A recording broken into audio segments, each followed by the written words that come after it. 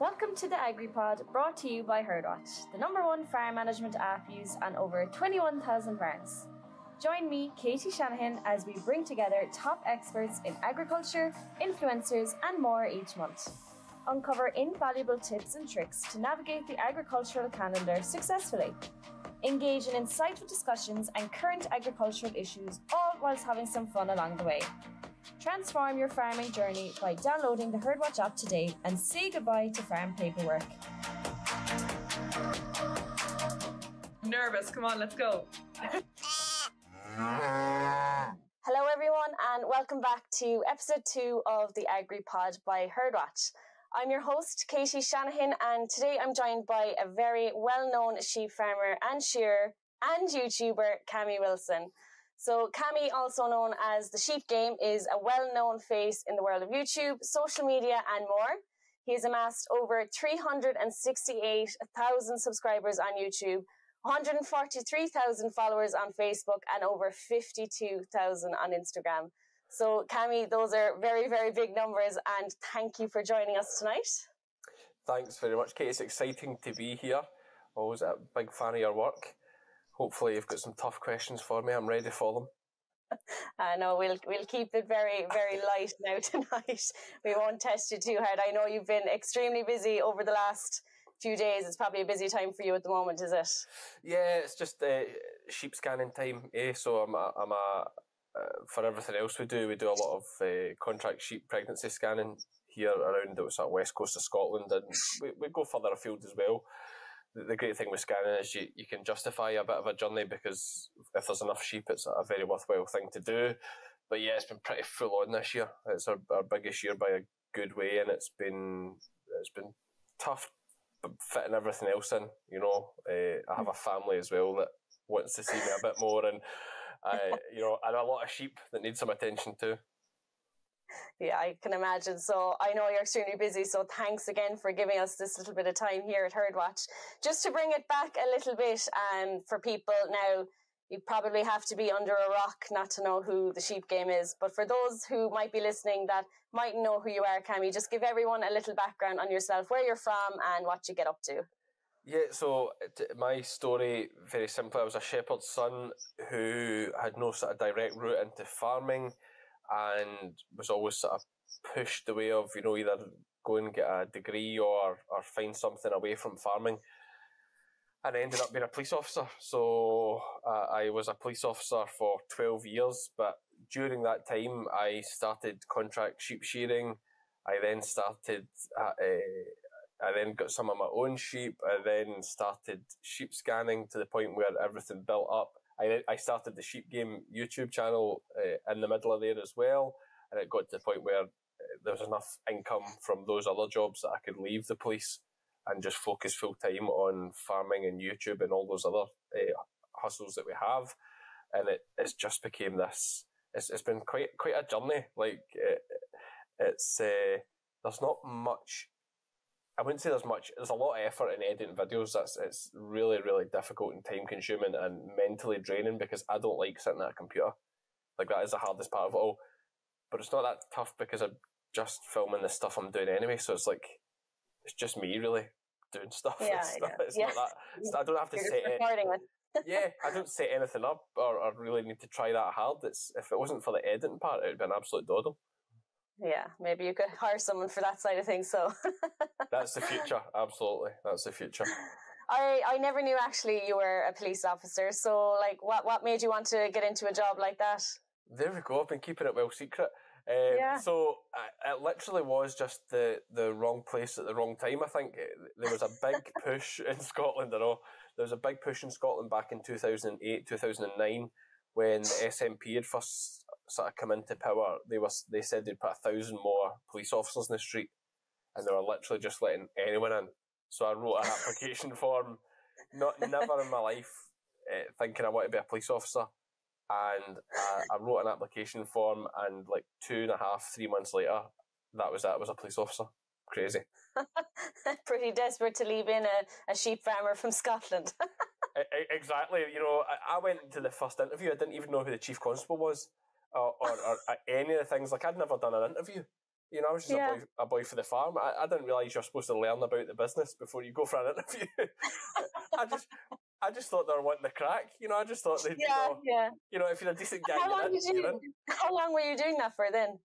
Uh, Twelve years. Uh, I was, Oh, yeah, I was in the police for twelve years. So from eighteen to thirty. So I only stopped three years ago. Um, Yeah. So which it's is mental. Like you know, you think you know how you're so big on. You have such a big presence on social media. Like people tend to think that they they know so much about you, and I'm just shocked to know I I never knew that. yeah, uh, there are still a lot of people that don't know that. I, I, I did reveal it at one point early doors, and that I used to say that I had a job in the city because it was kind of a conflict to say you were a police officer and be on so much social media. So I used to just say I had a job in the city. And then event, when I knew in my head that was a, I was going to leave the police, I, I started talking about the fact I was in the police. But okay. it, it's um, yeah, it was a big part of my life. It's set me up really well in a lot of ways in terms of dealing with people, of um, just I suppose knowing what the other side of life is like. You know, like I, I think sometimes you have the idea in farming, you know, like you, you know the expression like poor farmers type thing. Mhm. Um, but like there there are no poor people compared to the poor people like in Glasgow City. You know that are in Yeah, high, yeah. rise flats with no carpets and you know real poverty. Um, it really opened my eyes to all that. How lucky yeah, we are. I, I, yeah, I know, and I think even no matter how bad or well off you are in farming, I think just the lifestyle itself is a massive uh, pull for a lot of people. and we'll never starve.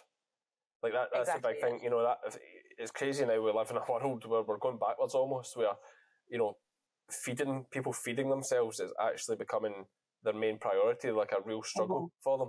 Whereas like a farmer, a farmer will never starve. You know, we have that Mhm. luxury at least. if all else fails, if it all, you know, when the apocalypse hits.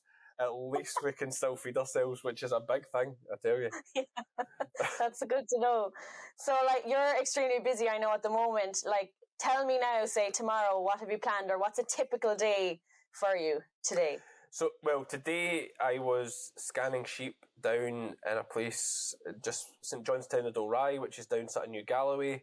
I, I was actually a kind of funny day today because it wasn't a big job, but it was filming for folk that are on This Farming Life.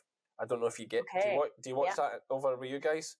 Uh, we don't have it, no, but uh, I It's- know what it- you're on about. yeah, it's it's huge here in Scotland and in Yeah. England. It's really really popular. Probably, well, it's the number one farming show here, and yeah, so so I set aside the whole morning for that, and then when I got back up the road, I was shearing Valais Blacknose sheep all afternoon. Oh, Uh, wow. So that's yeah, that's that that will break that A lot will of wool there. that'll break your spirit pretty quick. I can tell you. Um, it was funny actually because I'd, I've done it in two stints. And the last day I was in, the farmer asked me today, you know, "Look, was everything okay last day? You're in your, you were rough or quiet. You went yourself. I, I said, his name's Tom. I says, Tom, if you had 70 of these things in front of you to shear, you'd be pretty quiet too. so I was like, I was probably just so depressed thinking about how many of these I had to shear. Um, so yeah, that, that, that was my day today. Uh, and then the next, the next two days are scanning and then I have two days of, I've basically just two days after that the following week. So that's me getting over it and I'm buzzing to be finished. Yeah. So, like, for any listeners now, you know, I know there will be a lot of young people now probably tuning into this podcast, getting into something extra like the shearing or the scanning. Did that take much um, in terms of learning, or was it some things you just picked up along the way, or how did you actually get into it properly? Yeah, so shearing is definitely much easier to get into.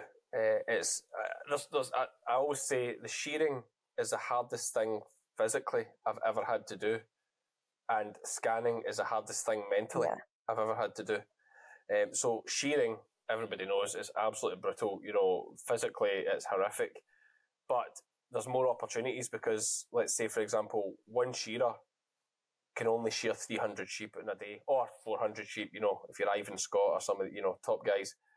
But there's a limit, you know, at the top end, you're shearing 400 sheep a day.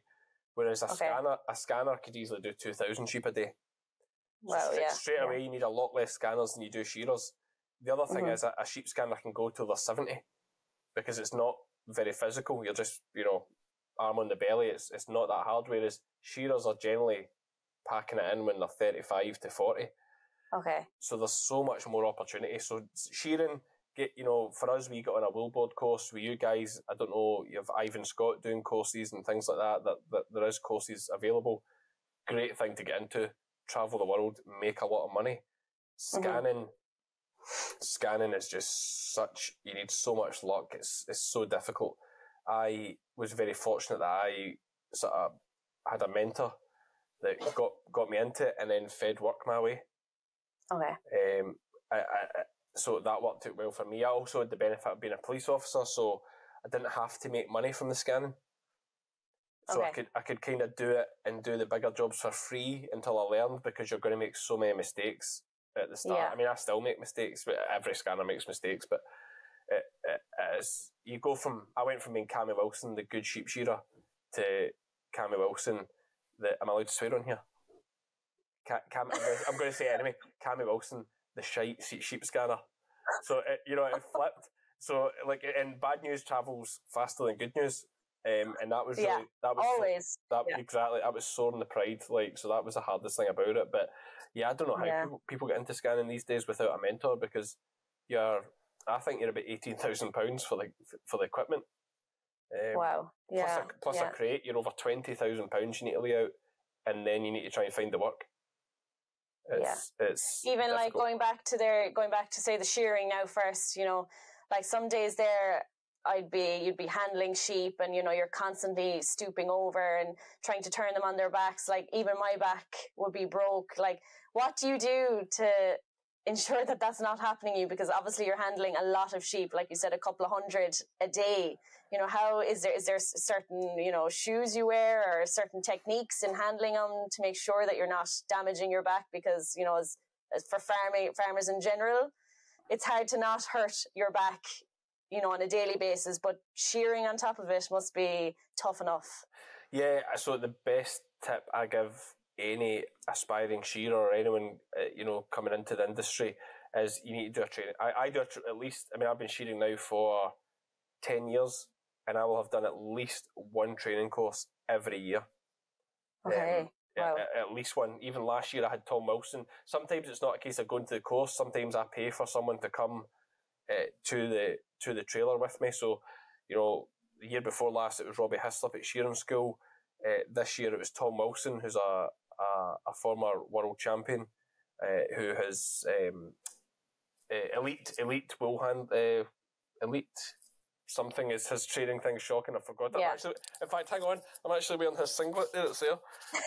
elite elite wool industry training. There we go. uh, it just dawned on me. So elite wool industry training is, is his, and I had him out on the board getting tips. So every year I've I've paid or went on a training course, and that is a secret to things like your back. Your back doesn't get sore if it's only taking you, you know, forty five to sixty seconds to shear a sheep. Because Yeah. you're moving round the sheep so fast, your back doesn't get sore. Your back gets sore if your technique's bad and the sheep's kicking out on you and you're spending ages bent over. You know, if you're straightening up every 60 seconds to get the next sheep, your, your back's fine and it never actually gets sore. It's just if your technique's bad, you get a really bad back. Um, So Okay, that, that's okay. that's the top tip is is don't think you're a good like see until I always say see until if we use an Irish reference, um, but you you you in the Republic? Yeah. Yeah, I thought that. I was just checking before I upset something because I could either go Ivan Scott or Jack Robinson, but we'll go Ivan Scott. Like, if unless you're beating Ivan Scott, you need to go on a training course. yeah You know, I'll accept. See, once you're beating Ivan Scott, I'll accept you know enough. You don't need a training course. But but until that day happens, and I'm pretty sure nobody listened to this. Uh, um, well, very unlikely. Certainly, nobody in Ireland listening to this is going to be beating Ivan Scott. So get yourself Yeah. a training course. Yeah. No, definitely. That's good because, you know, I there wouldn't be many um, sheep shearing competitions, say where I'm from, down the south. But the one time I did see it now would have been at the ploughing, um, the national ploughing championships that we have. Obviously, yourself, you come over to it. Um, but just to see how fast they move, like I know I went to watch, um, you know, my friend, you know, from you, you, well, he's YouTube now Unit, uh, Yes. Carol. So watching how fast they're able to do it and just constantly moving, like it's it's high intensity. These competitions. Do you do you enjoy the competitions?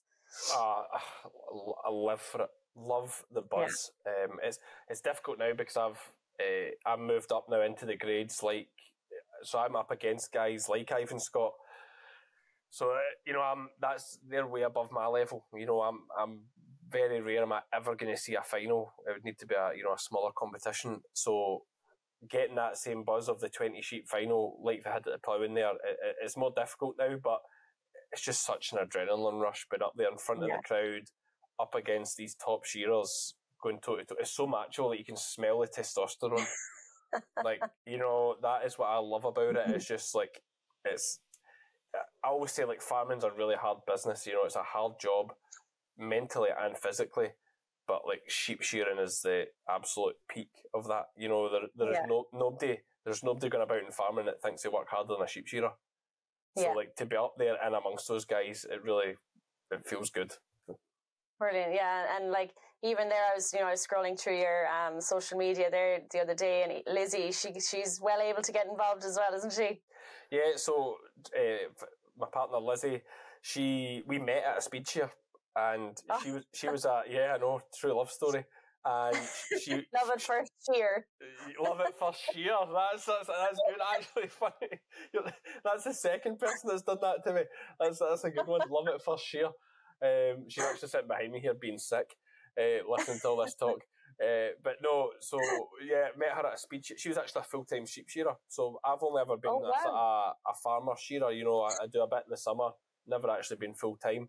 But Lizzie was yeah. f- full time for four or five years, six or seven, she says, uh, traveling from starting down in Devon uh, up to, to Scotland, then to Norway, then to New Zealand, Australia, back to Norway. Um, she did she did all those things, and and yeah, it's a great lifestyle if you're willing to work and you make a lot of money. Like she yeah. she she made a lot of money. Yeah, yeah. I'm, I'm guessing this leads us on nicely now to. I'm guessing things have slowed down slightly for her, seeing as there's uh, number three on the way. So congratulations. Yes, yes, with a quickly growing family, she doesn't mess about with things, Lizzie. uh, she just gets on with it. But uh, yeah, so it basically came about COVID. You know, it stopped Lizzie's travelling. She she was working away in New Zealand that first season. We were um, sort of seeing each other, and then she came back. We did a lambing, and then I think COVID must have hit about then, or whatever happened.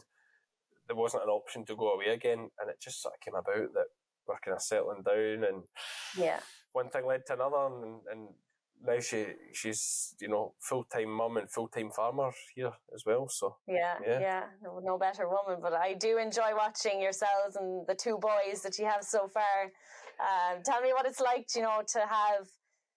You know, it's it's it's obviously difficult trying to balance, you know, being a, in a family and farming, but it's lovely to see that you're all so active together on the farm. You know, it, it's kind of, you know, for people who are looking forward to having kids, you know, um, growing up on a farm, you know, tell us a little bit what your day to day with the gang is like.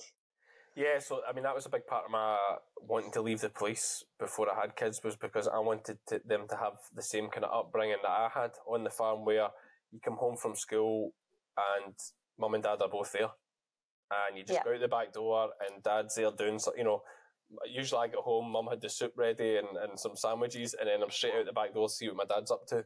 And it was a great life. Uh, and I wanted that very much for my kids. And I'm very fortunate, like Lizzie, I, I mean, to the point of madness, Lizzie takes them to do everything. Like, they, they come for every job. And, you know, it, the whole system only works because because of Lizzie, really.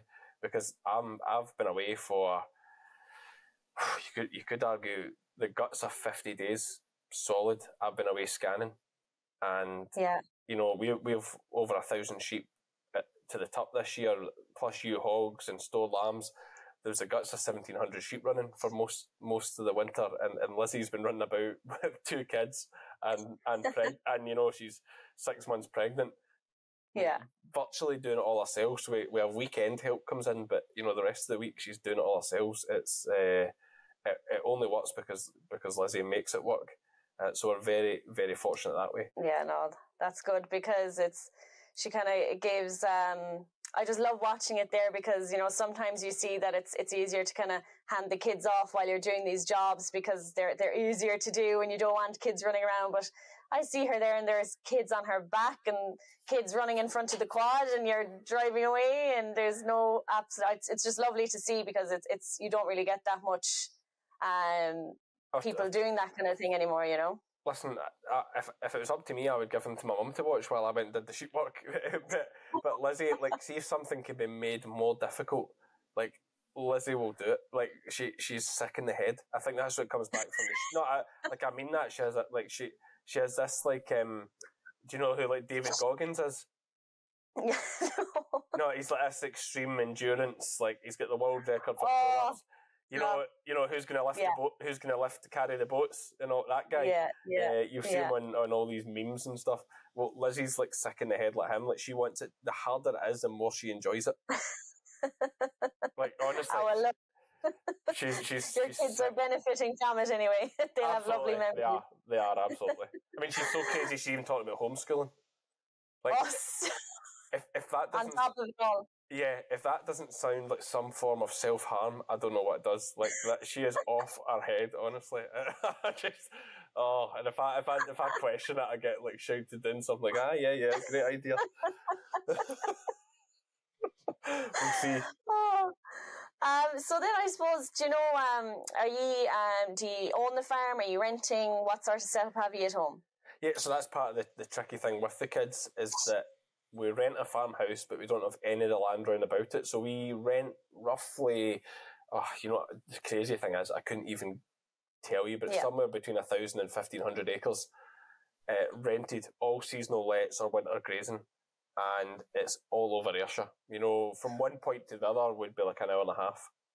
We're kind of yeah, middle, yeah. so the worst case is forty-five minutes. But if you went from one point to the other, you'd be at least an hour and a half to to, to get there. Like it's fairly stretched out. Um, yeah. But I know for farmers here, it's it's tough. It's tough to get land at the moment. Like, did you have any issues um, trying to get that land to rent? See, trying to get a start, it is so difficult. Like, yeah, yeah. Oh, I tried for ages, and it was just a, a, a pure bit of luck got me a start, and you know, from then it's it's amazing once the ball starts rolling and you get a bit of momentum. It, I'm not saying it's easier to pick up land, but certainly people know that Lizzie and I are hungry to get on and yeah. we're, we're, we're keen for opportunities. And the big thing is we look after places. You yeah. know, a lot of my ground I get is from people that I've had, I've rented ground out for, for boys with cattle and they don't take the cattle off until November and it's poached to hell and they're like, I'm not having cattle again. I want sheep. I thought it might suit you. And I think, yep, that's great. Uh, we'll take it. And, you know, I'll virtually take within reason, if it's a reasonable size and, and not too far, I'll I'll take anything and then make it worry about how I pay for it later. Yeah. You know, yeah, you know, I, I, just take take the opportunity when it's there and, and worry about it later. When did you actually go out farming on your own? How old were you? So, uh, 25. It basically all came about. My dad died. So, my dad died very suddenly okay. at 25. It was like uh, he got cancer and he got two months' notice and then he was dead. Okay. And wow. Uh, it was definitely a bit of a sort of it was it was a grief thing at the time because yeah. I was very like the old. I'm very like the old fashioned. Your dad's your hero, you know. Yeah. Like so, I was a kid yeah. brought up in the farm. My dad was my hero. Everything he said was gospel. Uh, all I like, even though I was at that point 25 year old, I was a man, ish. Uh, yeah. A, an older boy. I still like days off and weekends off, lambing type. You know, I was there working on the farm, helping him with yeah. whatever he's doing because I just love working with sheep. I love the mm-hmm. I love working with my dad and working with sheep, and uh, as you know, it dawned on me that obviously struggling to go over the issue of him dying, and then thought, oh, I'm never going to work. I'm not saying I'm never going to work with sheep again, but I won't get to work with sheep again. Then I thought, oh, my mum had quite a sort of half acre of a garden. I thought I could, as part of the tied house that came with the job he had as a shepherd. I thought, I wonder if I could put four, you know, four sheep in there and lamb them for a wee hobby bought those four yeah. sheep. Then I get the chance of an eight acre bit of ground.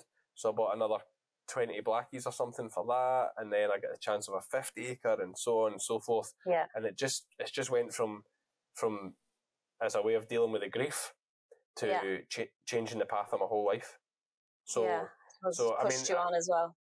Absolutely, and I, have I'm not saying I wouldn't have ended up going down the same route, but you know, if my dad hadn't died, I probably mm-hmm. been quite content just working away as I was.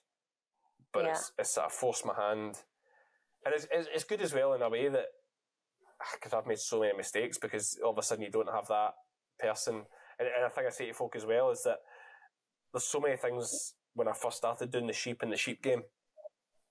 I didn't know why we did them. I just know that we did them. Yeah. And, yeah. and there's still loads of farmers are the same. Like, uh, they don't know why they do things. They've just always done it. So I was mm-hmm. like that, like, oh, we just always do, you know, I don't know why we do this. My dad just said we does them now, so we does them now. I never actually asked him why. It's just if he says that's what we do, that's what we do. And then all of a sudden when he's not there, you can't say, uh, why do we do that? You know, yeah. Like, so I started having to find things out for myself. And like the big one that I push all the time and that is that, so many people worm their adult use, you know, worm their ewes. Mm-hmm. Like, I've, was when I was starting to find out about all this. I asked a, a sort of mentor I had that kind of took over that, filled a big space in my life at the time, and I says, "When do you want your use?" He's like, "Don't want my use." He says, "What do you need to want your use for?" He says, "Oh, I just thought everybody wormed their use." It's like, "No, no, ewes yeah. deal with the worms themselves." And part of me's like, "Ah, is that right?" So then I speak to, yeah. I go speaking to like uh, contacts I've got at Elanco. I say, "Is this right about worm?" Oh, I don't need to. It's like, the only time you need to worm my ewe is if she's lean pre-lambing and she has a, a risk to the immune system. The rest mm-hmm. of the mm-hmm. time, don't worm them. And see now, I've not wormed a yow, even pre-lambing, I've not wormed a yow now in oh, five years at least. And it's, it's kind of my big thing. I'm going to start a campaign about it because the amount of farmers that still just toss wormer down ewes because I've always done yeah. it. Yes, I'm yeah, yeah. I, I, talked about it on my own podcast recently, and uh, a farmer phoned me and told me about this because it's quite funny. His his wife said to him, "Do you want me to use?" And he goes, "Aye." And she says, "Why?" He goes, "I don't know. We've just always done it." and the next day, he phoned his vet to ask him about it, and the vet's like, "No, you don't need to do it." And he's like. Mad. It's like, we'll just, he's yeah. like, he phoned yeah. me because it's funny because he was an example of what I was saying. He's like, we've just always run our yows because we thought, you know, you run your yows. Um, so, yeah. And now he stopped worming his ewes, so that was a good success. And that was my that's my little rant.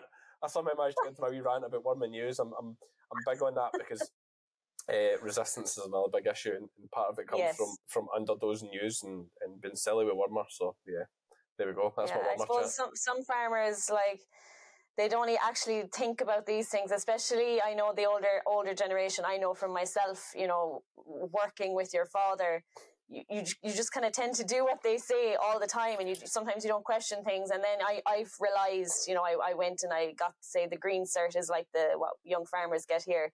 I went away and did that for two years came back and you know you start kind of mentioning these new things to your, your parents and it, like dad was looking at me like I had 10 heads like what notions are you after getting now going off to college and coming back with these ideas you know and it's it's very hard then for myself for my brother to try and like change things you know uh, so I, I don't know how we'll get around that one. No abs- absolutely. And like the, the the best i say best thing the, the if i you know the worming use is just one example of it um, uh, but like the people will hear me say that and will still worm the use. Yeah yeah. They'll, you know, they'll, they'll hear me say that. They could even talk to their vet, and the vet say, "No, you don't need to do it," and they'll still do it because I've always done it. It gives the ewes a good clean out before tupping. You know, they'll say yeah. things like that, but actually, if they do a worm count, the chances are there's absolutely no worms because the ewes are dealing with the worms. So yeah, I was just going to say, do, is do you do samples then, or, or do you just leave them? Oh, not not anymore. Not for ewes. No, no. I mean, I've not been no. dosing ewes for five years, so if there's a problem, I, I would I would known about it. You know, it's yeah. I had a friend yeah. though that didn't believe me. This is another story, and this was before the podcast. And I was on at him because he would always jag them, and, and with big, okay. prob- big problems now with like these um, uh, yeah things like Dectomax etc. resistance. So when boys are getting issues with scab now, there's worries that the Dectomax won't work because people there's quite a lot of people routinely just Dectomax are using the back end pre tupping. Yeah, and, they'll say that same sort sorting you know covering for scab and various other things as well. Yeah. which I totally get behind, but a lot of them it's for like, oh, they draw Dectomax and dip because the Dectomax, one, it's easier, and two, um, it gives them a good clear out for the worms too, but actually they, they don't need that clear out. So I got this boy to do a dung sample and there was like no worms in them. and now he's cut out that jag every year. So it's a big saving financially. Um, is a big saving, and and you're you're Yeah. reducing the chances of um, worm resistance for anything that is in them, you know, and resistance to that for scab in the future. Of course, yeah. Yeah, so Yeah. It's- yeah. Maybe you could uh, but, but but that's go on the road and travel around uh, preaching your your Well, that, that's all. That, but this has all came about because my before I would have been like many others. My dad says we do it, we just do it. I don't need to. I don't need to think about why we do it. We just do. Yeah. And and and he's he's my hero. Whatever he says is absolute gospel. I would never Yeah. like I never quit. question it. No, and my Mm. dad said was right, like, as far as I was concerned. So, but obviously when he wasn't there, and and Yeah. I was making YouTube videos and I have to explain why I'm doing things. There'd be times I'm like, I don't even know why I'm doing this. So Yeah. then I would, so then as I said before, I would then ask, and then I'd realise, oh, I don't need to do that. And it's it's Yeah. really it's been it's been if we take a positive from a negative, that's been the positive. Yeah. Yeah, and even like twenty five, you know, it, it's it sounds old, but twenty five is so young to be just kind of f- forced into it almost not forced but you know what i mean like tr- pushed into it you know you you're you're trying to look look for others then for for guidance or helping you did you have good support when you were that age because it is a very young age to be Yeah. hoisted uh, into it yeah, it, it um, yeah, I suppose as I suppose as young. It was, yeah, it was a sore one. Like it, you know, I did take it very, very badly at the time. Absolutely, I did. I, I was fortunate that the my sort of mentor in terms of the shearing and, and the boy that I did all my con, you know, that was the contractor I worked for. He definitely filled a little role in terms of I could phone him all the time about things and ask questions, and he was pretty knowledgeable and switched on and I sort of lent on him a little bit for, for advice on all things to do with grass. You know, how much rent should I be paying for grass? How many Yes. sheep? How many sheep could I put on this bit? Um, you know, could I get a loan of a top? Could I get a loan of a stock trailer? Could I get a loan of a set of pens? All all these little things that just help to to get me going. Um, yeah, it was it was a major impact. I'm I'm always very positive, right enough, even in those situations. You know, I, I said to folk, and I actually said this at my um, no, I didn't say this at my dad's funeral, but I said it around about that time when I was trying to convince myself not to be wallowing in, in so much grief. Is that like I had 25 years of, Yes. of of my dad. A lot of folk don't even get that. i know i know yeah Do you know what I mean? So like putting a positive spin on it. You know, I got till I was Yeah. a full a full grown man. You know, Mhm. so I was Yeah. very fortunate that way. So um, yeah, there's a lot of people worse off than me. That's for sure. That's true. That's true. And then I suppose young farmers like get getting into it. You know, say uh, here in Ireland, if if they're doing if they go straight in for their green cert, you know, after school, they could be coming out as fully qualified farmers. You know, when they're 20, 21. Others tend to go say for the degree and they're in college for you know four or five years, depending. So they're about, they're they're in their early twenties when they're you know coming out and trying to you know get home you know, either you know reinvent their home farm and try and improve it. Would you have any advice for any young listeners, you know, that are starting off in their journey? Yeah, I, I mean, as far as I can see, and you can tell me if I'm wrong here, Ireland seems like a really pla hard place for young people to either get started in farming or even to come home to the farms because the farms are so small a lot of the time. Like a, you Yeah. know, I, I know they're not all like that, but it's hard for these smaller farms to carry two, you know, two full time worker, you know, workers. Yeah. Um, and even harder again if the father's not that old and he's not ready to step back. Uh, so on that basis, a couple of things. One, I know dairy's big, obviously, in Rupert. Like go to New Zealand, like go and travel, go and see something Mhm. else. You know, because you you only get you only really get one chance at life, and that's in that period where you're between eighteen and you know maybe twenty five. You don't have any kids, you don't have any ties. Go Yeah. and travel as much as you can. The farm will always be Yeah. there at home. You know, the, the farm will always be there. Go and make a ton of money, have a ton of life experiences, and you know, you might come out of college thinking you know things, but it's not until you actually go to these other places and see the other systems. And uh, I, I, I recently actually Tuesday, the twenty whatever it is of February, I, I have a podcast come out with a guy called Brendan Muldowney, he'd actually be a good one for you to speak to as well for a podcast.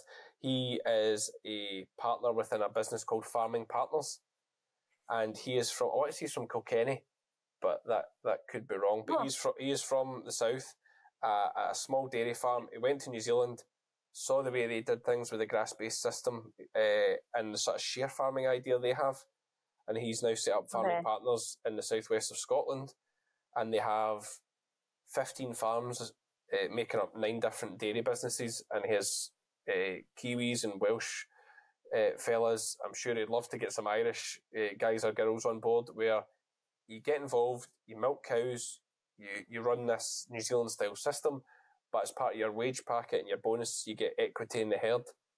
Uh, and you can oh, start oh, wow. build, building up your own herd of cattle. So it's very much like a New Zealand based share system. So I'm, I'm quite happy to give them a shout out because I think it's great for young people it's uh, yeah. farming, farmingpartners.co.uk. Loads of opportunities if you want to work. You know, yeah.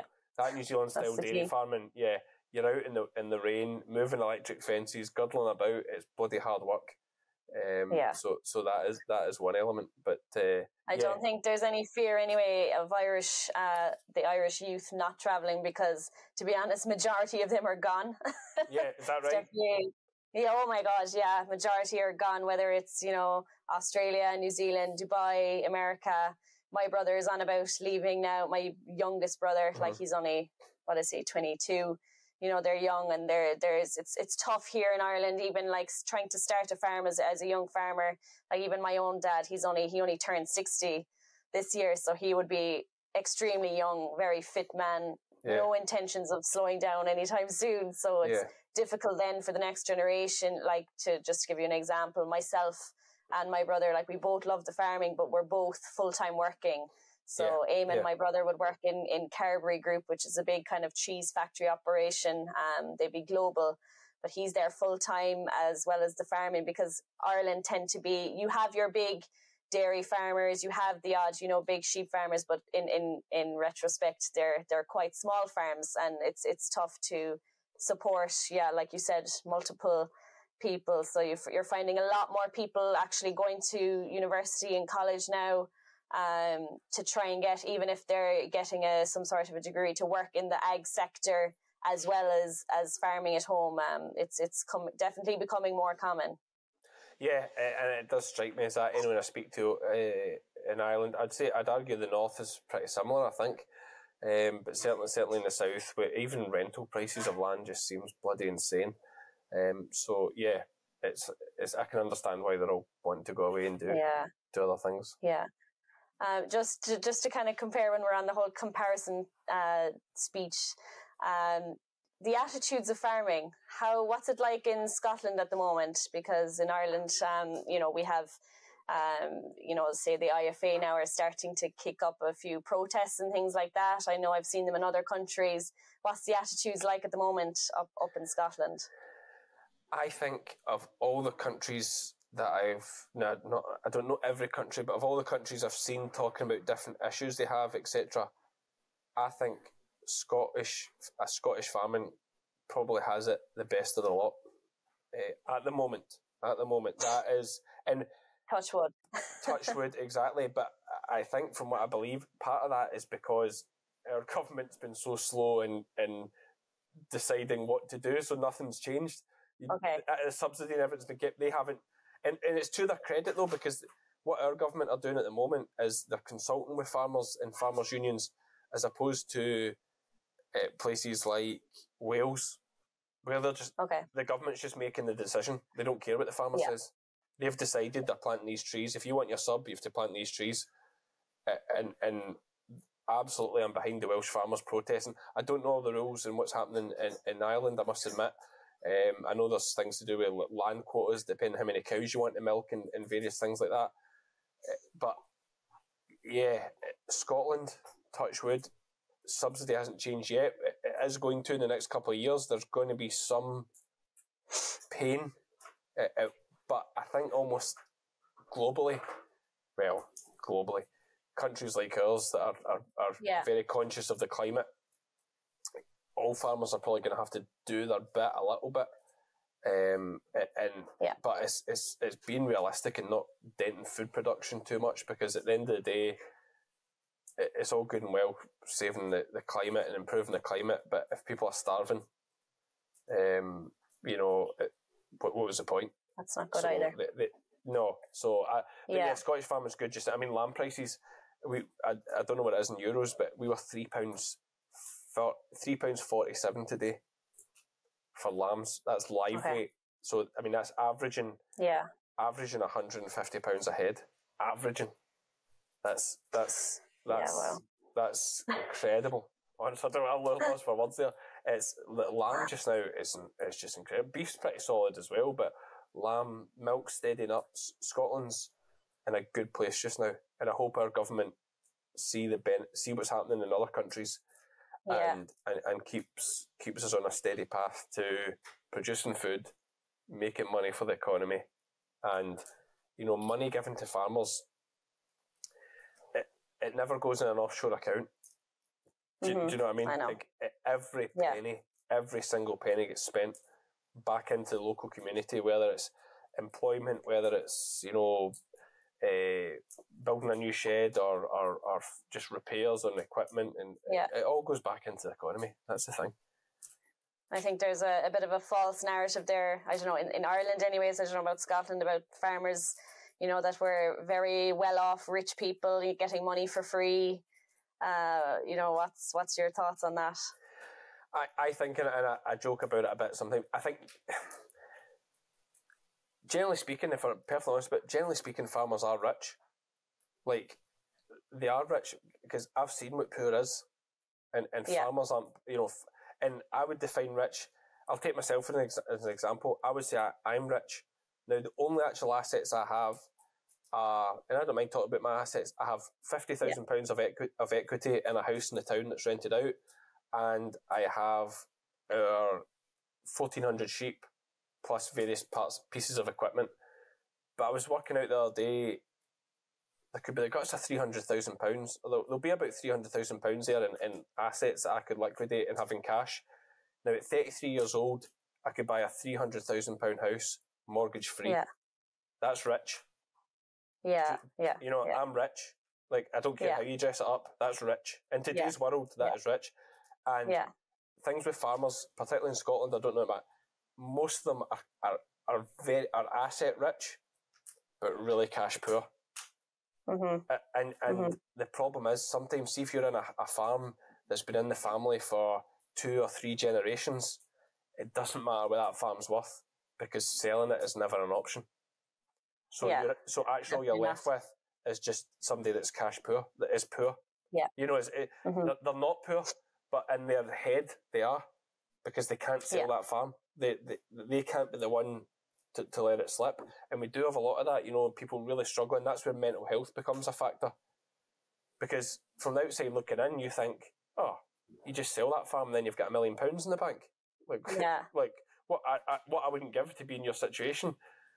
But it's, it's it's more than that, you know, when you when it's been in the family for for over a hundred years, the weight of that on someone when the farm maybe isn't paying because not not every farm is efficient. And you know if maybe the it's there's not been enough progress made in the past 10 15 years you all of a sudden fall so far behind it's uneconomical to catch up. You know there's we see so many yeah. like, dairies been the prime example. If dairies aren't spending money like mad to keep up they fall so far behind that they just have to you just have to stop. Um, mm-hmm so it becomes this big weight on farmers, and that's where the mental health thing's a factor. So I, I, I don't like the narrative of farmers being rich because I, I don't know. I'm I, I joke that they are rich and I'm rich because, but, but, but but by by people, I don't mind saying it because I know what I mean by it. You know, I yeah. I, I know that they're asked, but these people that are saying farmers are rich are, are making it out like you know they're uh, they're uh, Conor McGregor. You know. Uh, splashing it. You know, do you know what I mean? That when I, when I, when I when I say that I'm rich, it, yeah, you know, I, I, can explain it, and but the, the, narrative they're trying to put out is that that we shouldn't be giving money to these people, but yeah. actually, yeah. these cash type businesses, if they don't get that support, it, it all crumbles and falls apart, and you have of another. Course. Farm sold if in the, if it's in Scotland, it's getting sold quite more often than not for bloody planting trees Yeah. so, so you know what I mean, and it's another business gone, and it never comes Yeah, back. yeah. Um, so yeah. the narrative. I don't mind me winding farmers up and having a bit of a laugh with them and saying, you know, uh, you know, you're, you're rich, but. Uh, when, yeah, yeah. when these people are saying it, they're saying it with venom, and, and, they're, and Yeah. they're trying they're trying to produce a false narrative of what Yeah, what what being what they mean by being rich. Do you know what I mean? They- They're thinking Yeah. Lamborghini, Lamborghinis and and and mansions. as I wish. Aye, exactly. As opposed to, um, you know, hard bloody work to make it all pay. Yeah. Yeah, yeah. And then just in terms of like false narratives, do you find the pressure of, you know, you've so many people watching you on a day to day business of spreading the right message you want to spread on social media? You know, do, do you have to think about sometimes what you're saying, how you how you're saying it? Because sometimes wording is, is everything when it comes to posting things online. Yeah, absolutely. I I'm a big believer in setting a good example. I and a, and a, a big thing with the sheep game is a huge following with the kids. Um, Yeah. a- and I really believe in setting a good example. That there's no swearing in the sheep game. You know, Mhm. don't get me wrong. I, I I worked in the police for twelve years. I live in the west coast of Scotland.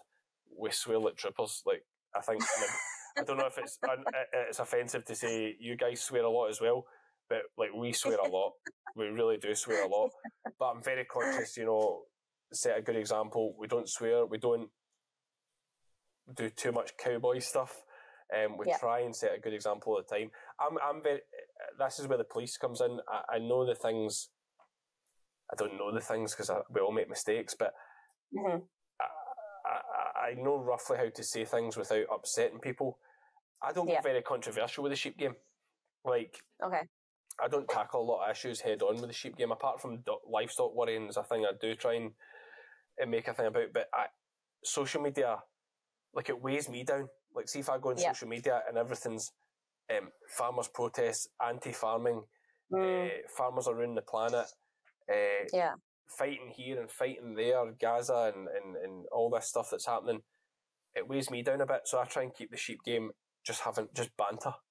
Yeah. Do you know what I mean? Yeah. I, I am very. I just want the sheep game to be a laugh. Yeah. Uh, I, I I don't tackle many serious issues, partly because I just feel like I'm not versed enough to Yeah.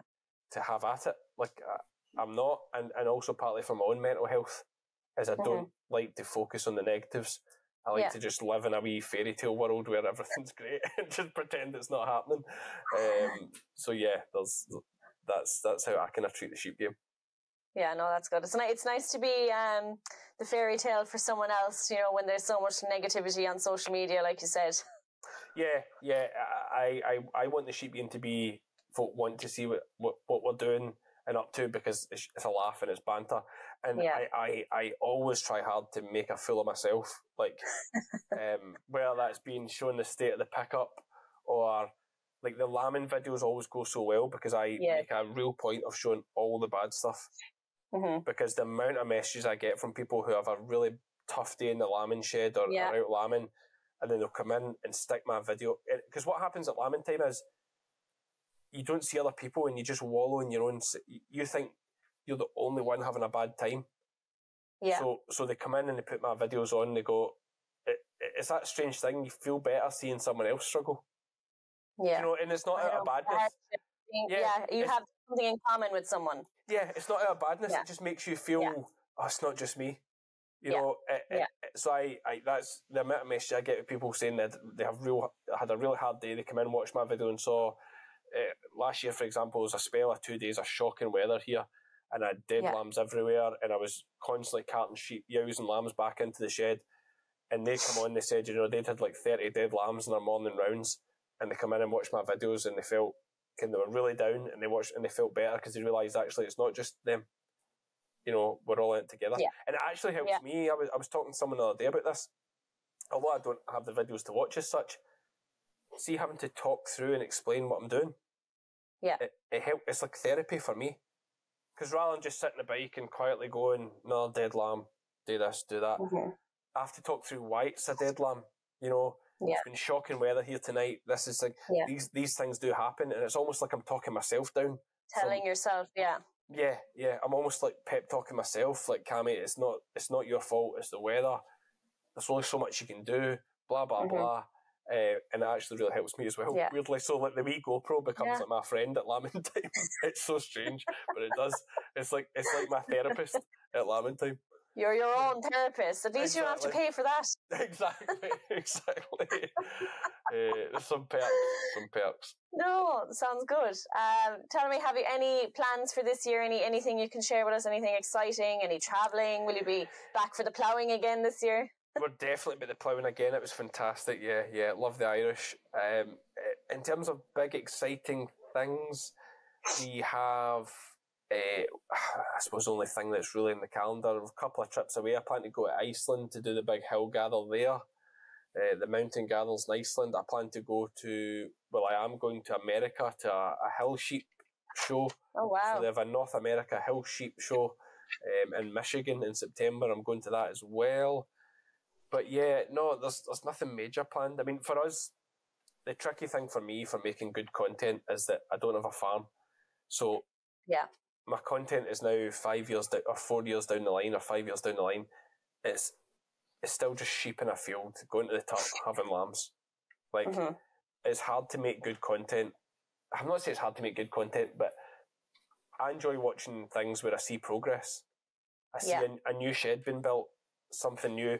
Like uh, Adrian at iFarm We Farm is a good. Oh Ca- yeah, he's very good. Yeah. Carol at, uni- at YouTube's in a similar position to myself, but Adrian at like iFarm We Farm. If we if we talk a, an Irish setup, Farmer Phil, brilliant. You know, Mhm. like he's just taken on a 120 acre farm. He's, he's Yeah. constantly improving things with the calves, etc. New feed bins. You're seeing real progress. Adrian's always tinkering at things and renovating Mhm. cottages and doing up quad bikes. That's that's the stuff I like to see. Is, Yeah. is, is that kind of progress, and then Yeah. referring back to it and seeing how it works. Whereas Yeah, I just can't do that just now because it's all rented ground. So, I know. um, but the day will come. The day will come. It will. Be optimistic, like you always are. Always. Well, um, I think that has been a fantastic chat. I think we could be stay chatting for another half an hour if we had the time. Uh, definitely. I- I, feel you never even asked me anything about Herdwatch. I feel like I should say. I, I, No, don't worry. This is a very uh, neutral conversation. I think everyone knows at this stage now you use Herdwatch. yeah, and I, like like Lizzie now does most of the Herdwatch stuff for us because she's like loves it, lo- loves all the tweaking stuff and that. But yeah, I like I know you've not asked me to say anything about Herdwatch, but it is class. Like it really Yeah. is really really good. And even just for like we're about to do our QMS thing, which is like farm assurance. Yeah. it's like it's like the medical records are like invincible because like Mhm. they're, they're just so easy to bloody do. Like it's a two minute job. Yeah, like it's yeah. so good, man. So yeah, Yeah. uh, big fans. Well, you, you'll need Lizzie will need all the help she can now for the next few months. So Herdwatch might be her little savior, Exactly. doing all the Exa- records for her. she might, you might need to add a section for recording the kids and their treatments. We're getting that many of them. there's uh, there's something to that. There's a, there's a good option for an April Fool's post actually for Love Herdwatch. it. Feed that back to the team. The toddler watch. Yeah, toddler watch. There we go. That'd be good. no, that has been great. It had actually, it's been a great chat. And like I said, we could go on all night, but I want to move on to our this or that. Okay. So I explained it to you briefly. So I'll say two things, and you literally have to say, give me your answer straight away. Don't think about it. It's going to be as, as fast as we can now. There's only, what is there? One, two. There's only about five or six of them. So are you ready? Ready. Ready I to go? I think. Terrified. Okay. Male or female collie? Female. Ewes or rams? Use. Lambing indoors or outdoors? Outdoors. Scanning or shearing? Shearing. Tea or coffee? Is it is it fancy coffee or is it out a kettle? You decide. Tea. Quad or gator? Ga- uh, gator. Uh, Italy or Scotland in the match coming up in the rugby? I don't know if you're watching rugby. Uh, easily Scotland. Are you sure? Easily Scotland. Yeah. Even even even England managed to beat Ireland. Uh, sorry, even uh, England managed to beat Italy, not Ireland. Yeah. and when you said Ireland, I was like, ah, take that back. Yeah, yeah, no. Uh, And what, what, lastly, oh, just one more to finish. Take your guess, or your your uh, uh, boy or girl for baby number three. What do you think? Uh, I'm going to say uh, a girl. Oh, fingers crossed. well, My balance, the testosterone in the house. the scanning lady said it was a girl, so I hope she. it's, a, it's a fairly safe guess. Eh, Well, you said yourself, scanners make mistakes. Absolutely, and you know it's always easier to, to scan a boy because you can definitely see it's a boy, but with a girl, with a girl, it could just be tucked away. So there you go. never you never know. You, never, know. That's it. well, I have to say, this has been a great chat. Thanks so much, Brilliant. uh, Cammy, for coming on. We really, really do appreciate it. Any final words? No, just uh, good luck to Ireland in the rugby. I, I wish so bad that we'd got that try against France and we're having a, a St Paddy's weekend. Four wins out of four. Scotland v Ireland. What a match it would have been. But I, I still, I do you know the sick bit in me, the Scottish bit in me thinks that Scotland are the kind of team that would would go on and beat Ireland and still lose the Six Nations. To you know on on points like like we're the kind of team that just because we almost beat France and almost did it, we'll now go and do something stupid like beat Ireland and then still not win the Six Nations. That's how. That's what it's like being a Scottish person. that's wishful thinking though, because you guys will probably hammer us. You're unbelievable now. Um, but yeah, good luck. Good luck to Ireland, the Six Nations. Uh, We're- you, you we're- can share in our celebrations when Yeah. we win. you're you're always my number two team. So yeah, as That's long as good it's to one hear. of Good us. Well, it has been an absolute pleasure. Thanks so much, Cammy, aka the Sheep Game. Make sure you give him a follow if you're not following already. Uh, that's it, guys, for this episode of the AgriPod. It is literally coming up to the hour. It has been an absolute great episode. And make sure you tune in next time where we will have our third guest next month. So until then, guys, chat to you later. This podcast was brought to you by Herdwatch. Download the Herdwatch app today to eliminate farm paperwork and make better decisions with your farm in your hand. I hope you enjoyed this month's AgriPod by Herdwatch. Tune in next month where we will have another special guest in store. Bye.